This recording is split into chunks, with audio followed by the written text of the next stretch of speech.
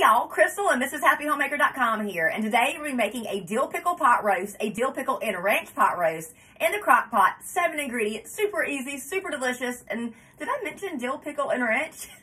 Let's make this. So first I'm going to add a four pound roast to my slow cooker. You can use a beef chuck roast, a sirloin tip roast. I usually use a beef chuck roast for it, but the sirloin tip roast was way cheaper than the chuck roast this week, so that's what I went with. They will both work beautifully. So I have a 24 ounce jar of baby dill pickles. I am going to pour off a half a cup into my measuring cup here, and then I'm gonna take the rest of this juice and pour it into a different cup and set it aside for a later use. Or you could discard it too, but I like to use pickle juice for other marinating meats. Now I have one packet of dry ranch seasoning mix. This is one ounce, and I'm just gonna sprinkle that over my roast.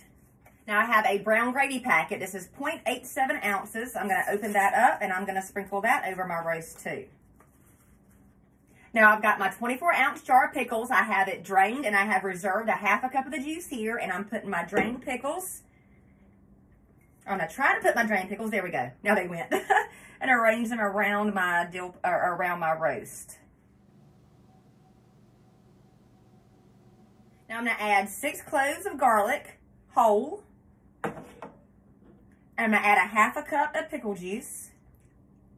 I'm going to pour that all over the roast. To help break down those spice mixes.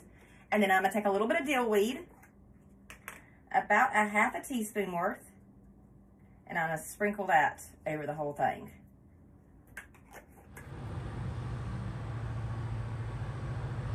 So I'm to put my lid on this crock pot. I am to let this cook on low for about 9 to 10 hours. If you're making this with a chuck roast, this will likely take about 9 to 10 hours on low. If you're cooking this with a sirloin tip roast, you will likely need about 12 hours on low in your crock pot instead, as sirloin tips don't have as much fat content as a chuck roast, so it takes it a little bit longer to break down. The dill pickles break down beautifully too and are oh so tender. Pile this high on a bun with some cheese like provolone, and oh my goodness, some good eating. If you like this recipe, then check out my blog, MrsHappyHomemaker.com. Indeed.com